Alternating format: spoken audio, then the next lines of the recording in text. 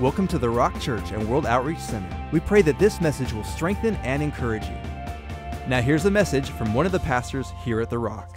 Let's get into the Word of God because you know what? Listen, you don't come to hear from a man. I know it's Easter Sunday, I know that, but you don't come to hear from a man. You don't come to hear from the old or the young or the black, the white, the brown, or anything like that. Listen, we always come into church to hear from God. So I'm going to get down on my knees. I'm going to go before the Lord in prayer. If you're able to stand, would you join me and let's stand together and let's go before the Lord and prepare our hearts to receive the Word of the Lord.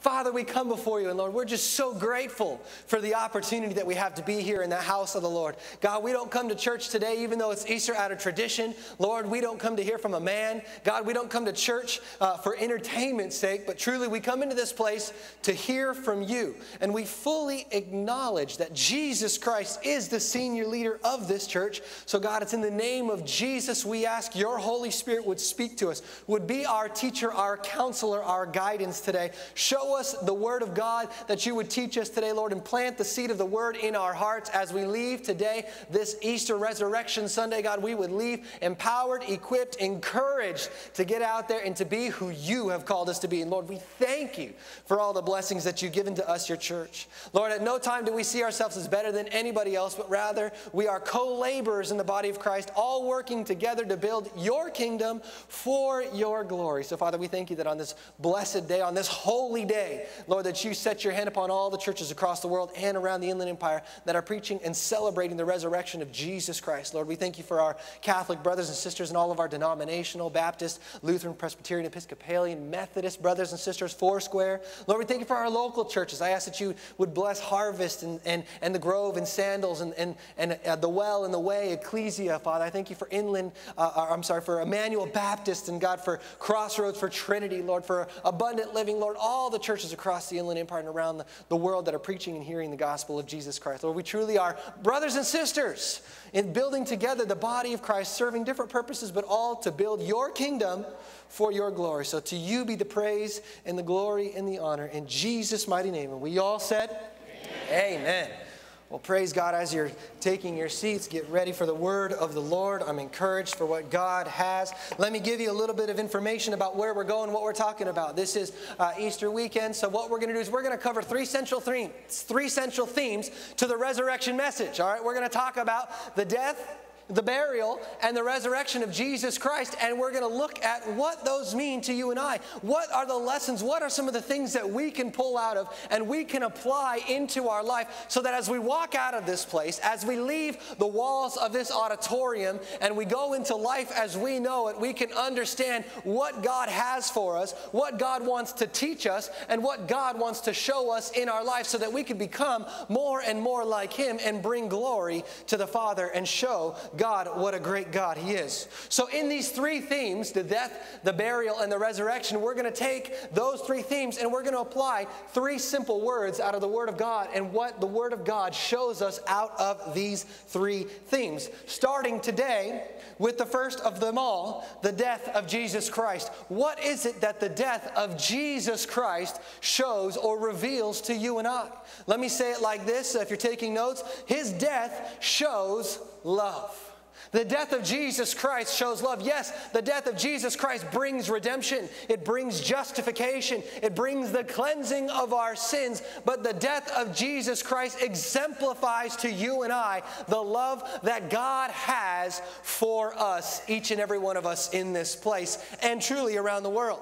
If you've got your Bibles, why don't you turn with me to the book of Romans? Go with me to the book of Romans in the fifth chapter. Paul the Apostle is writing to the church in Rome. Romans in the fifth chapter, what an amazing theme Paul is talking about to the church. And in Romans in the fifth chapter, verse number eight, Paul the Apostle has an amazing truth here. And it says that God demonstrates, that God demonstrates. Now, going back to verse number six, just quickly, the Bible says that Jesus Christ died for the ungodly. Not the godly, not the ones that followed God, not the ones that believed because, they, or that did not see but believed, but rather for Christ died for the ungodly. Then it goes on in verse number eight now to say that, that God demonstrates his love. He proves His love. He exemplifies His love. He shows His love to you and I. in that while we were still sinners, listen, while we did not realize, while we were ignorant of who Jesus Christ is and what he did, nonetheless, Jesus died for us on that cross on Calvary's Hill 2,000 years ago so that we could be free. And in this message, we see the demonstration, we see the evidence and the proof of God's love for us. Let me take you somewhere. Just go with me for a moment, if you will. You don't have to turn there, but the very first verse in the Bible, Genesis, the first chapter, says, In the beginning, in the beginning, God created. Now just, just go with me for a moment. Just, just, just expand your thinking. Let's, let's examine this for a moment. This is God that we're talking about, our, our, our creator God, our sovereign God, who is, who is so righteous, who is, who is so holy. There is none like God. There is none before and none after. God is the beginning and the end. He knows the beginning from the end. And here the Bible tells us that in the beginning, God created the heavens and the earth. This is a God that did not need to use his hands to create, to build, but rather would speak and planets would come into existence, would, would utter the very word and light came into being, that God spoke and He hung the galaxies and the stars, and He set the sun and the moon, and He set the planets around the rotation of the sun, and He set the earth at its right axis so that we, His creation, could live here on this earth and be comfortable. This is the God that speaks and things exist. The God who sees the finite details, of the infinite details of the universe and sees all the way down to the finite details of, of, of the, the, the small feather onto a hummingbird into the microorganisms that we have discovered through scientific discovery. This is the same God, God the Creator. And he is so sovereign that you have to understand that God in no time needed to prove anything to us, his creation. But what God did is He loved us so much. He loved us so much that He demonstrated, that He proved, that He exemplified His love for us by giving for our sins Jesus Christ, His most valuable possession. You see, God didn't want to just give precious jewels or rubies or diamonds or anything like that so that we could be free of what we were born into, the sin nature of man, but rather, God said, I love you so much that I will give you what costs me the most, my only begotten Son. I think of it like this in my beautiful wife. I married my high school sweetheart. I remember we were just talking about this last night. I remember the very first moment I saw my wife Stacy. We were uh, we were in junior high or in high school, and we were on our way to, to church camp. And she was dating at the time one of my friends. Now I say at the time because shortly thereafter he wasn't my friend because she started dating me.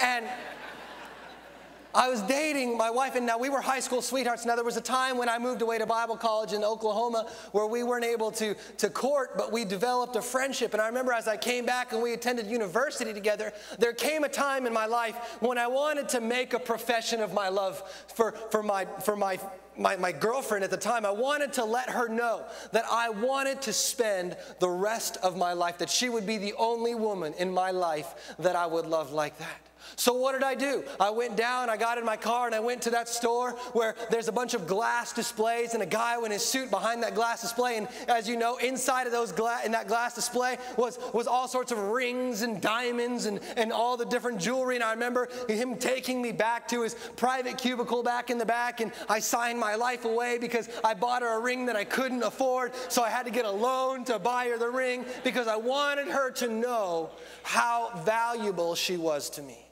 I didn't want to just give her anything to tell her I loved her. I wanted her to understand that it cost me something. And we understand that in the loves of our life, but you see, God wants you and I to understand how much that He loves us, that He wanted to give. He had to give us something that would cost Him. He had to show for us His love that would cost Him something. And the Bible tells us that the gold that paves the streets of heaven is so pure that it's clear. So therefore, the riches of this world aren't enough for God to show His love. So He demonstrates it to you and I through giving Jesus Christ. St. Augustine said that God loves each and every one of us as if we are the only one. God loves each and all, God loves uh, each one of us as if there were only one of us. You've got to understand, we have got to shed in our minds that we have to stop seeing God as this, uh, this deity on his almighty hill, waiting to punish, waiting to discipline, waiting to scorn us for the bad decisions that we've made in our life, but rather, God loved us so much that he sent Jesus Christ as a way for us to become free of our sin so that we could again be reunited and connected to him. The death shows us love. The Bible tells us in the book of First John, I'll throw it on the overheads for you if you don't have your Bibles, it's okay. The book of First John in the fourth chapter, verse number 9 in the New Living Translation, it says, God showed how much He loved us by sending His one and only Son into the world so that we might have eternal life through Him. And verse number 10 goes along and says, This is real love. This is real love. Not that we loved God, but that God loved us and sent his Son as a sacrifice to take away our sins. The death on the cross that Jesus endured so that we could enjoy life is God's way of saying that He loves us. God proved His love for us on the cross. When Christ bled, when He hung and He died, it was God saying to us, to the world, I love you. Jesus loved us so much, the Bible tells us that Jesus knew His hour had come and He had loved us to the very end. In the, in the time that Jesus was sitting with his disciples right before his betrayal, he tells his disciples, There is no greater love than this, than a man to lay down his life for his friends.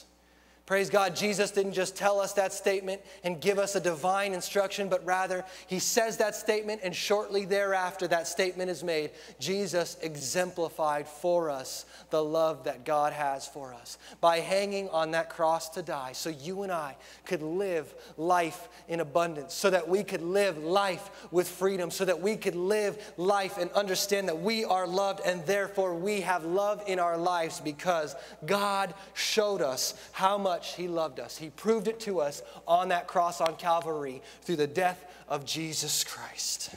Hallelujah. Glory to God. So good. In His death, it shows us the love. As we continue with the resurrection story, you'll find that not only did Jesus die there on the cross, but also he was buried. In fact, if you want to turn your Bible with me to the book of Matthew, first gospel there, first book of the New Testament, Matthew, and we're going to be in the 27th chapter. Take a look at two verses Matthew chapter 27, verse number 59, and verse number 60. We're talking about the burial of our Lord Jesus Christ. Matthew chapter 27, verse 59 and 60. Let me set the stage for you. Jesus has died on the cross. Now they're going to take the body down. And a, and a godly man comes. In fact, he was a rich man. His name was Joseph. Came from a place called Arimathea.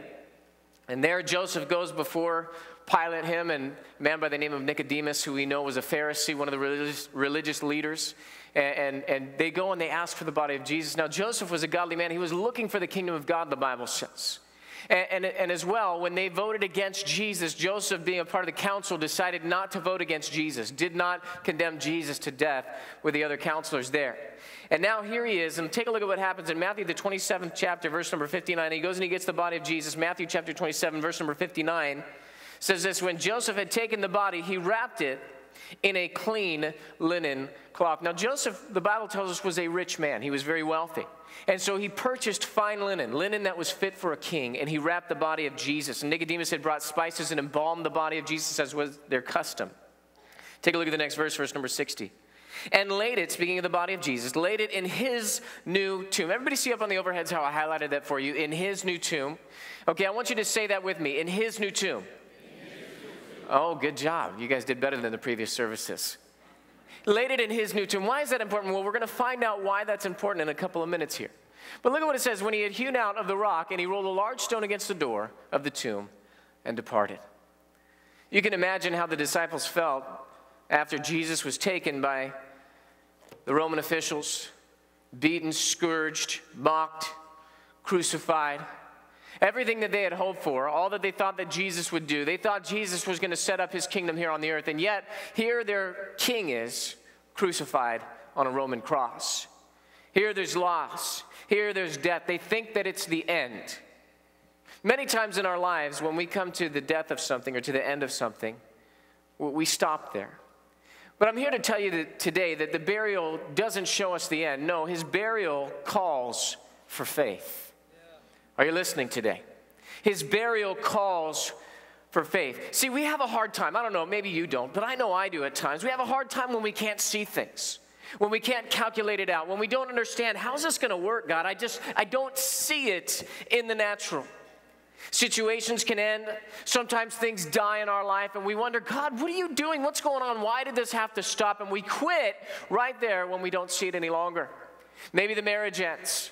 Husband or wife has walked out, and you say, That's it, it's over. I don't see how this can work. Children go south and they're not communicating, not coming back, and you say, That's it, that, I, I guess this is how it's going to be. Maybe you get the pink slip on the job and you say, It's over, I don't know how I'm going to make it. You miss the payment. Now they've repossessed the house, they've taken back the car, all of it is gone, and you stop and you say, God, I don't know what's going on.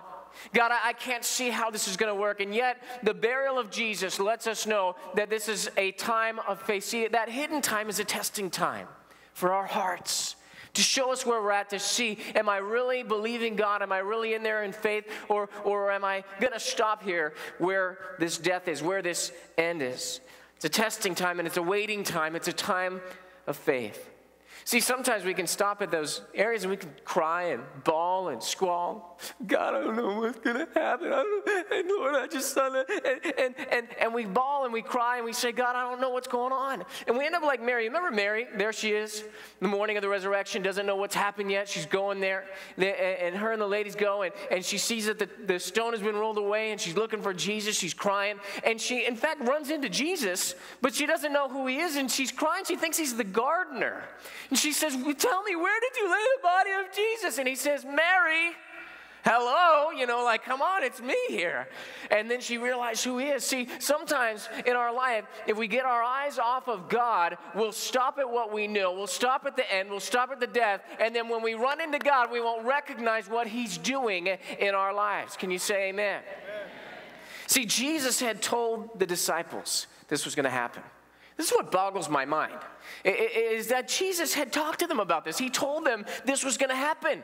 In fact, if you read in the book of Luke, there's one time where he gets a hold of them and he says, Let these words sink down into your ears. I mean, I don't know how much more graphic you can get than that. And he's telling them the Son of Man is going to be crucified. I'm going to hand it over to the Gentiles. I'll be crucified, but be of good cheer because I will not stay dead. I will rise again on the third day according to the scriptures, and I will go ahead of you into Galilee. Now, we would have thought they would have been so excited that, that this would have just been a road bump along the way. Yeah, I would have been sad. And why did he have to go through much through so much pain? But listen, he's raising again. Let's go to Galilee. Let's let's meet him there. And yet they're not. What do we find the disciples doing? They're hiding for fear of the Jews. They're, they're running away from Jesus. They're, they're running all over the place. Uh, in fact, on, on the road to Emmaus, you find a couple of disciples, and Jesus shows up on the scene. They're talking to him. They don't even realize it's him. And they're saying, Are you a stranger around? Don't you know what's happened? And the worst part of all of this is that it's the third day since this has happened. And Jesus starts to rebuke their unbelief. In fact, most of the time when Jesus shows up on the scene after the, the resurrection, what does he do? He upbraids them. I love that word. That's a great King James word, right? He upbraids them. He rebukes their unbelief. And he says, Don't be unbelieving. Believe. Get in faith. Just because you can't see what's going on doesn't mean God's not doing something. Just because it looks like the end, just because it looks like a death is taking place, don't worry, don't fret, don't fear. God is moving, God is working, God is building, God is going to do it, God will take care of it. God is the God who tells the end from the beginning. Hallelujah. See, even the tomb spoke of the resurrection of Jesus Christ. You say, how, how could the tomb speak of the resurrection of Jesus Christ? Because remember the words I had you say? That wasn't Jesus' tomb.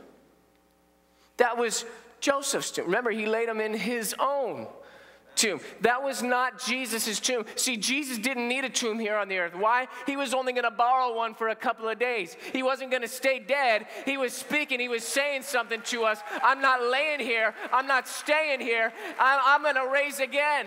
And I'm here to tell you today, I've been to both sites in Jerusalem. Neither of them have the body of Jesus sitting there. He is alive, He is risen, He is not here. He is raised as He said He would.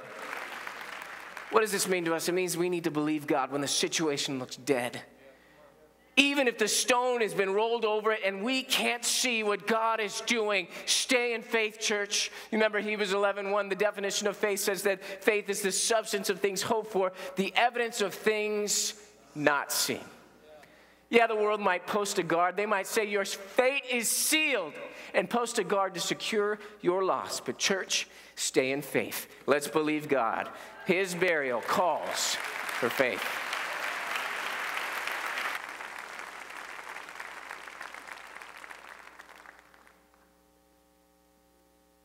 So good. So we look at the scripture, we're talking about a wonderful subject. And the subject is really the death, burial, and resurrection of Jesus Christ. And each one of those words have something to say. Let me just review for a few moments. Pastor Luke brought the word death. It shows love. The supreme power of the universe is not an army, it's not an atom bomb, it's not an earthquake, it's not the oceans, it's not the military supreme power. The supreme power of the universe is the love of God. The Bible makes it very clear that love cannot fail. Therefore, it is the supreme power of the universe.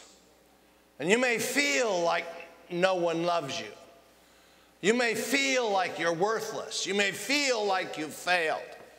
You may feel like you're rejected. But the truth is that someone loves you so much that they gave of themselves so that you could have something. Which brings us to number two that Pastor Dan brought, which is fabulous. The burial calls us to remembrance and calls us to faith. And what we do is oftentimes where our faith is stopped at what we see, stopped at what is logical, stopped at what we can calculate and figure out. Our faith only goes as far as the natural, but the problem with that is we're looking for supernatural results. And when your faith only goes as far as the natural, you'll only get natural results. I don't know about you, but if I want supernatural results, my faith's gonna go beyond the natural. He's gotta be bigger than what I see. And when it looks like it's all over, when it looks like you failed, when it looks like you have no talent, when it looks like you don't know how to make it, when you look like the world's going to fall on you at any moment, it looks like you can't and don't have the ability to do it, you don't have the money, you don't have the resources, you don't have the education, there's absolutely no way for you to accomplish anything in life. Here's what it's all about it's you believing God. You put in the natural, He puts in the super, and now you have a supernatural life. But you have to put in the natural.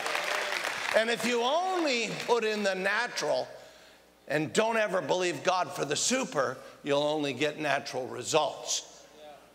Very important for all of us to see and experience, which brings us to the resurrection. The resurrection cries out something. For every one of us, at least it should. It cries out the word, if you will, and brings us to a place of hope. In other words, the tomb is empty. That wasn't the final say. I have hope for tomorrow because the tomb is empty. And I want you to know something right now. I don't care who you are, or what you've faced. I don't care how uneducated you are, how much you've failed. And I don't care how many times you've been married. I don't care how many times you've screwed up. I don't care if you're the biggest sinner in all of the area. I'm here to tell you something. There's hope for today, there's hope for tomorrow, and there's hope for eternity because the tomb is empty. Buddha, and I'm not picking on anybody, Buddha's tomb is still full. Probably very full. I don't even know about Mohammed. I don't know anything about that. I'm not here to criticize anybody. But one thing I do know is there's proof that the tomb is empty. And Jesus was seen by hundreds afterwards and communicated with. In fact, listen to this not proof from the Bible, but secular proof. There is more proof that Jesus Christ lived after the resurrection, raised from the dead, then there is proof that Julius Caesar walked on this planet. There's more earthly, worldly proof of Jesus Christ. Things written, documents proclaimed from people who were not Christians, secular truth that Jesus Christ was raised from the dead, seen and spotted by hundreds of people than Julius Caesar ever lived. You have no problem in believing Julius Caesar. Where the church has a problem is believing that Jesus Christ raised from the dead. And if he's raised from the dead, then here's what my question is Does the Bible not say to every single one of us, all things are possible to him that believes? Is that not hope for tomorrow? Does that mean when I can't make it, all of a sudden I've got God on my side? I can make it because He makes the difference. Paul writes these words in Second Corinthians. He says, when I am weak, then I am strong because God comes in. Will you ever be weak? When you're weak, you are a candidate for God's power. And that's what brings us the hope that we need to have. My friends, it's a living hope in your business, a living hope in your finances. It's a living hope, if you will, in your families, with your children, in your dreams and your vision. Hope that not only today and tomorrow and next month, next year, but there's a day coming in the hearts of every one of us that are born of the Spirit of God that there's a hope that the eastern sky will split and Jesus is coming to get us. There's a hope. I love the Word of God. Listen to why we have a hope, and it's wonderful in First Peter, as Peter writes in the first chapter, verse number three. I'll just put it up on the overhead for you. Blessed is the God and Father of our Lord Jesus Christ, who according to his abundant mercy has begotten us. I love the word again. What do you mean again? You know, you, you begotten us again? In other words, in order to be begotten again, that means I had to be there once before. When was I ever there before? You were there, listen, saints, in Adam before the fall. So God redeems mankind back through the shed blood of the Lord Jesus Christ. He's begotten us again to a dying, failed, no, living hope hope that says, I have life, I have a future. I don't know how I'm going to make it, but I'm going to make it. My body says I'm not going to make it, but my God says I am going to make it. My age says I'm not going to make it, but my God says I am going to make it. My finances say I'm not going to make it, but my God says I am going to make it. That's a living hope. How did I get it? How did you get it? How did every one of us get it? Listen to this through the resurrection of Jesus Christ from the dead. Amen. It's a powerful statement. One more little verse for today. In Hebrews, the sixth chapter, verse 18, here you find that the writer is talking about Jesus. And as he's writing this in Hebrews, the sixth chapter, verse 18, he's making a statement about how God confirms his promises to you and I. In other words, when you get a promise, you can stand on the promise. The promise may be different than what you feel. The promise may be different than the natural. Most likely it will be. You don't need a promise for the natural. The natural, you can figure it out. What you need the promises for is that which is not natural. And hold on to them until they come to pass. If it's a promise of God, that's what he's confirming here. It says, by two immutable things, that's the eternal word of God and the covenant of God. Can't be broken positively.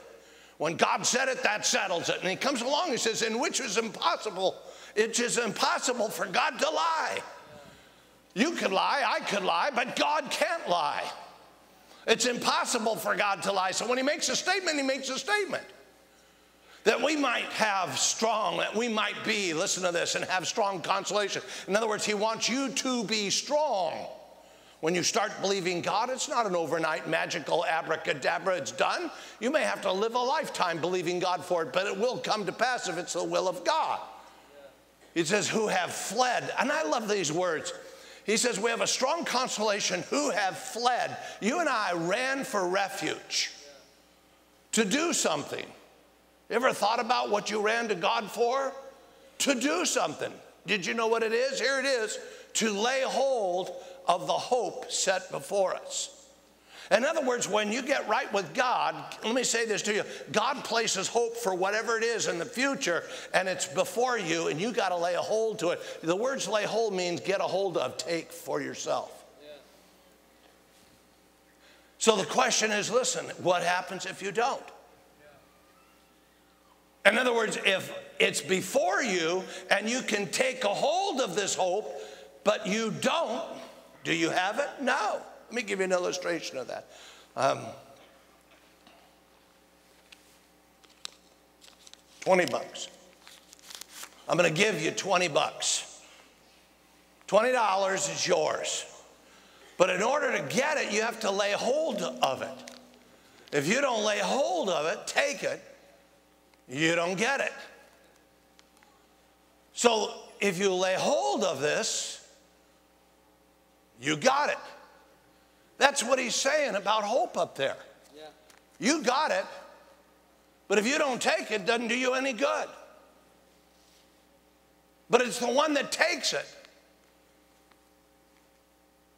that has it. And I'm giving you 20 bucks. Come in, wait a minute. Come and take it. You got it. Sorry, he beat you to it.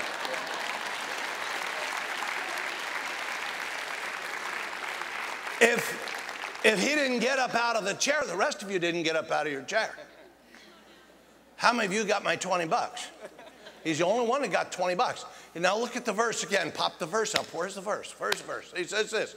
He says, We ran from refuge because we're standing strong because of this hope. And we fled to refuge to hold on to this hope that's set before us.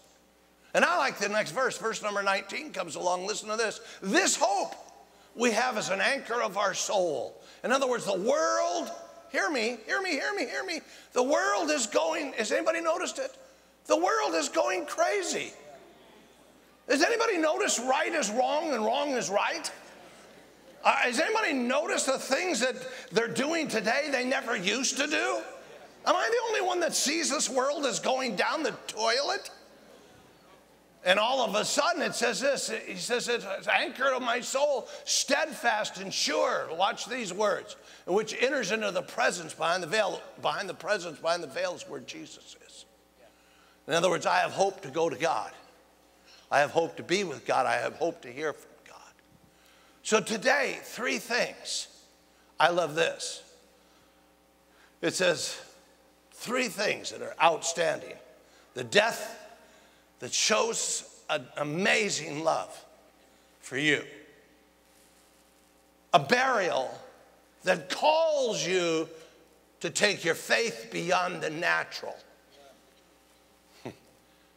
and a resurrection that brings you to hope for whatever it is you're believing God for. If God spoke to you today, come on, give the Lord a great big praise. Now let's talk just for a moment.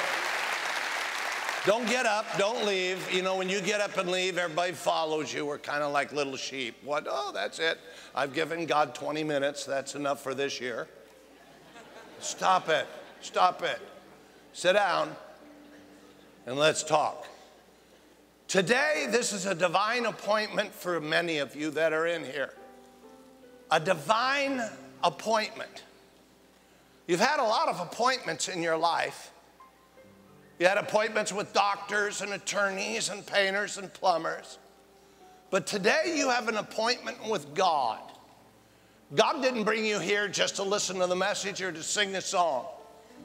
God brought you here specifically that His love would touch you, His faith would be in you, and His hope would inspire you.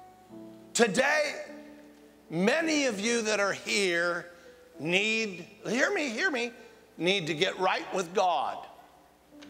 You're not right with God. In fact, let me tell you the truth.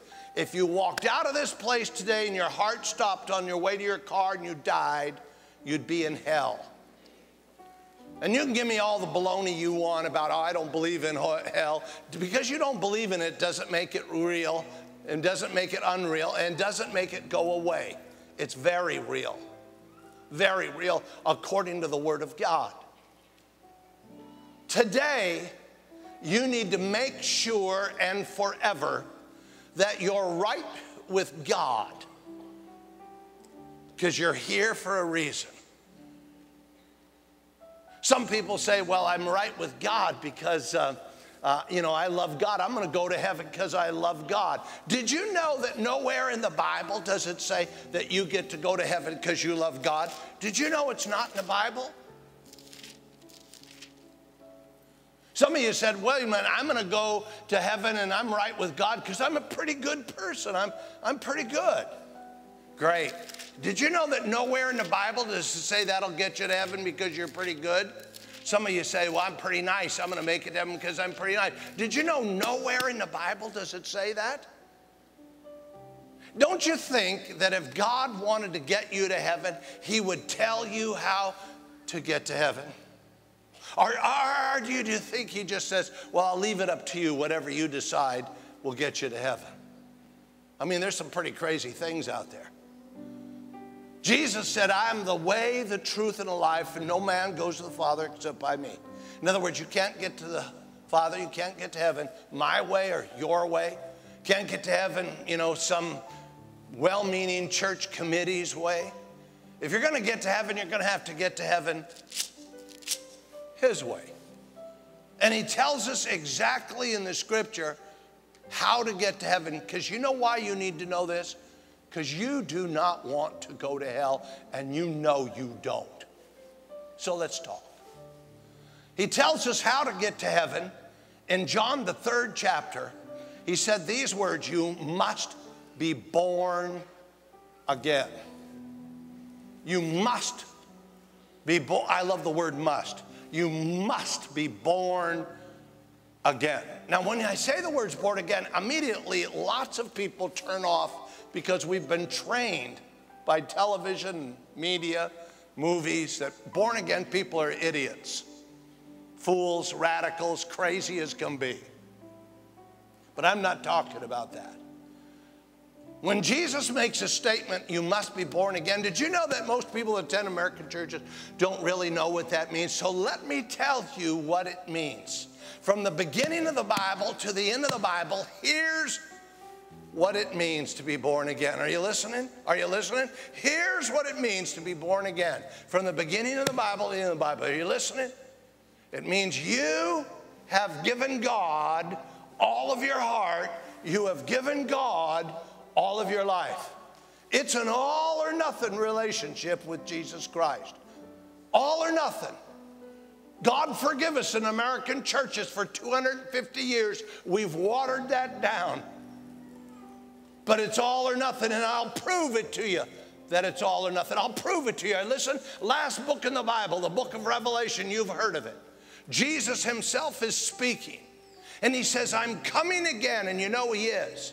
And he says, And when I come, I better find you hot or I better find you cold because if I find you lukewarm, I will vomit you from my mouth. That is a rude, crude statement out of the mouth of Jesus. Oh my goodness. Vomit me? What did he just really say? Here's what he just really said People who call themselves Christians that are lukewarm are not real Christians at all, and they're going to get vomited from the mouth of Jesus when he comes back. Oh my goodness. Well, let me define lukewarm for you so that you can understand this so we're all on the same page, okay? Because this is really important. Listen closely. Lukewarm, little in, little out. Lukewarm, a little up, a little down. Lukewarm, a token prayer, occasional church attendance. Lukewarm, you're not against God but you're not wholehearted for God. Lukewarm. God is something in your life. Oh, but He's not everything. That's lukewarm. And by the way, He'll never become something until you make him everything. You say, well, how do I do that? You got to do it his way. Simple as can be. Listen, stop, think about it just for a moment. Stop, stop, stop, stop. He's the God that created the heavens and the earth, like Pastor Dan was talking about, that speaks, Pastor Luke, that speaks and planets exist. Oh my goodness.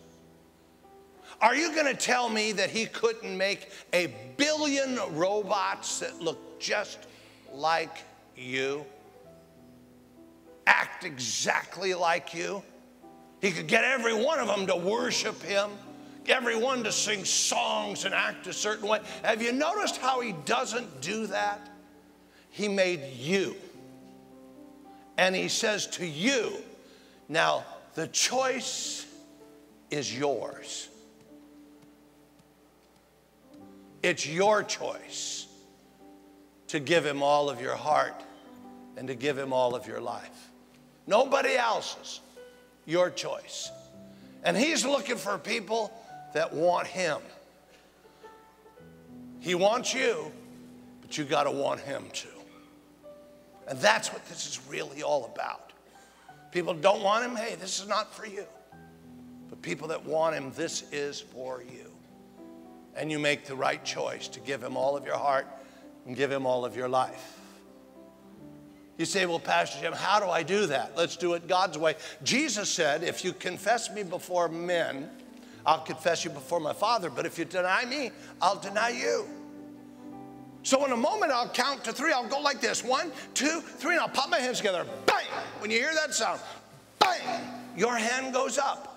I'll see your hand go up, and what you're saying by the raising of your hand is I don't want Jesus in my head like most Americans. I want to give him all of my heart and give him all of my life because actually that's what he's all about. He's all after your heart. And you want to give him all of your heart and give him all of your life. That's what this is all about. See, I already know you know who Jesus is, or you wouldn't be here today. I already know you know about the resurrection. I already know you know probably a little bit about what we talked about today, or you wouldn't be here. That does not make you a Christian. Why? The devil knows who he is, and he's not a Christian. He's experienced every bit of it, and he's not a Christian. So it's not what you have in your head. Listen to me. Listen, listen, listen, listen, listen. Look, look, look, look, look, look, look at me. It's what you've done with your heart. Have you given Him all of your heart? Have you given Him all of your life? Free will choice. It's your call, your choice. Today is your day of salvation. You say, Pastor Jim, how do I do this? Well, I'm going to count through and go like this one, two, three, and I'll pop my hand. Bang! Your hand goes up. I'll see it. And you can put it right back down. How simple is that? And you're making a statement, a public statement. I want Jesus. I want to go to heaven. I don't want to go to hell. I want to be born again and I'll see your hand. Because he said, if you confess me before men, I'm a man, I'll see it.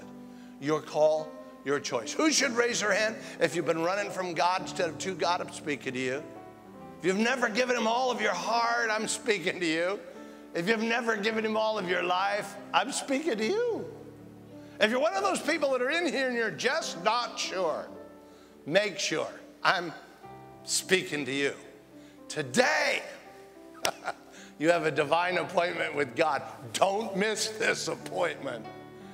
You say, Pastor, if I raise my hand, I'll be embarrassed. I can't raise my hand. The people I came with will see me. I'll feel funny. The people behind me will see me, Pastor. I can't, I can't raise my hand. Yep, you will feel funny. Get over it. It's better to feel funny for a moment in a safe place like this than to be in hell forever and ever because you care more about what people think instead of what God sees. Come on, nobody's that dumb. But the devil thinks you are, and he's trying to talk you out of it right now. Are you going to listen to him? Today is your day of salvation. I'm counting to three, I've done my job. Get ready to put your hands up all across this auditorium and in the family room, out in the foyer. If you're watching by television in the foyer, if you're down at the Love Rock Cafe, put the burrito down. I'm here to tell you this is you can get your hand up and get right with God. Today, all across this campus, this is your time. Are you ready? Here it is. One, two, three. Let me see your hands. Let me see your hand. One, two, three, four. Let me count them. Don't clap. Don't clap. Don't clap. Don't clap. Don't count. I'm, I'm fishing. I'm fishing. You're throwing rocks in the water when you clap. Hold on. Everybody, everybody. Let me count your hands again. One, two, three, four, five, six, seven, eight, nine, 10, 11, 12, 13, 14, 15, 16. Thank you. Uh, we're up 16, 17, 18. Look at this. 19, 20, 21, 22. Wave at me a little bit with those hands. 22, 23, 24, 25, 26, 27, 28, 29, 30, 31, 32, 33, 34. Thank you. 35, 36, 37, 38, 39, 40, 41, 42, 43, 44, 45, 46, 47, 48, 49, 50, 51, 52, 53, 54, 55, 56, 57, 58, 59, 60, 61. This is pretty good for a preacher to count like this, isn't it? Uh, 61, 62, 63, 64, 65, 66. Thank you, God. You put your hand down. You've already done that every every service. 66, 67, 68, 69, 70, 71, 72, 73, 74. My goodness, isn't it good? 74. Where, wait a minute, wait a minute, wait, wait. Where's 75? I'm a greedy. Oh, there you are. Okay. Now give the Lord a great big praise. Isn't God good? Now look, here's what I want you to do. All 75 of you, I want you to get hold of your coat, purse, sweater, Bible, friend. If Jesus can walk a beaten, bloody mess for you, you can walk a safe aisle for him. And I want you to get your stuff. Bring a friend if you need a friend. Check with your friend next to you. Make sure if they need to come, you'll go with them and tell them that. And meet me right here in front. No one leave during this period of time. Come on, you can give God more than an hour. No one leave during this period of time. And all 75 of you, come out of that family room, come out of this family room, come out of the foyer, wherever you're at. I want you all to stand. We're going to welcome you. You get down here. Let's pray together. Come on down here. Come on. Come, come, come, come, come, come. Amazing love, how can it be that you, my King, would die for me? Come on home. Amazing Come on home.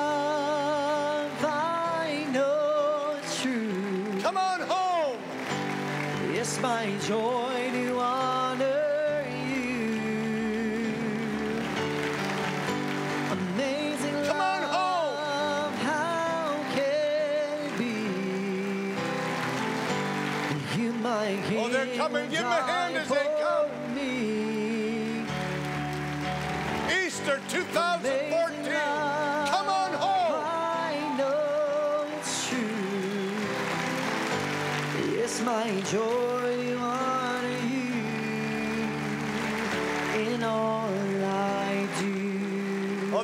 Still coming. Give them a hand as they come. Come on, there's time.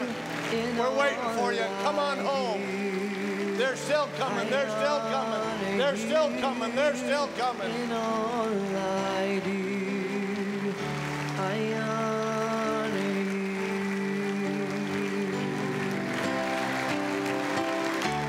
you. Isn't God good? There's like a hundred of you up here. Of you in front, thank God you've come. This is the greatest day of your life. There's no greater day than this day. You'll find that out someday. You may not know it yet. But I want you to look, I want you to look to your left. See this guy waving at give wave, big wave, big wave, big wave. That's that's Pastor Joel. Good guy, cool guy, no weird stuff goes on, I promise you. He's gonna do three things. Let me tell you what the three things are so that you won't be afraid. Three things, here they are. Number one, he's gonna lead you in a prayer to invite Jesus into your heart. You need to invite Jesus into your heart. You know, he doesn't come into your heart because you need him. He went to the cross and died for you because you need him. Now he's a gentleman and you need to invite him in. He doesn't go where he's not invited. That's what's so interesting about his character. Okay? So he'll lead you in a prayer to invite him in. Secondly, you're going to be born again, but now what are you going to do? What does God want from you? He'll give you some free, I love the free word. And we're in San Bernardino. The F word in this church is free. And uh, we, we, uh, so we'll, we'll give you free some literature to take home and read about what to do next, you know, and we want to help you in that next step. Third thing is what we want to do is we want to introduce you to a program we have so you don't fall through the cracks. In other words, we have a spiritual personal training program. A friend, we give friends away here that'll meet you before church service, pray for you during the week until you get strong so that you can help somebody else. Is that okay? So it only takes a few moments of your time. You'll come right back out. The people you came with, they'll wait for you. Is that okay? Will you wait for them? Oh, they said no. What kind of friends have you got? No, they, they, will wait for you. And It only takes a few moments. Make a left turn and follow Pastor Joel right over this way.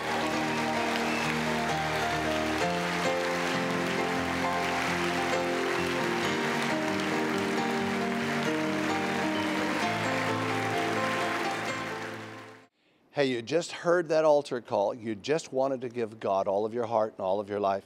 Now, let me lead you simply in a prayer of inviting Jesus Christ into your heart as your Lord and Savior. In fact, why don't you just go ahead and listen to me? And go ahead and close your eyes and just repeat these words after me. I'll go slow, you repeat them. Say these words Say, Father God, I come to you in the name of Jesus. I believe that Jesus Christ is your only begotten Son and that you sent him for me and then he died for me on that cross at Calvary. I believe that his blood washes away my sins, that I am now a new creature in Christ Jesus.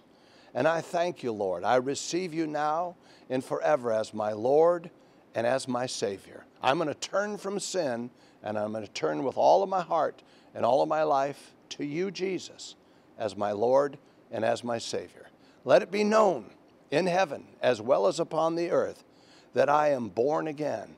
I'm a child of God, that I'm saved, and I'm headed for heaven and denying my presence in hell. Thank you, Jesus. I'm alive forevermore. Love you so much. God bless you guys. Everybody just say amen and receive Christ as your Lord and Savior. So, talk to you later. God bless you. Thank you for listening to the Rock Church and World Outreach Center. If this message spoke to you, please share it with us. We'd love to hear from you.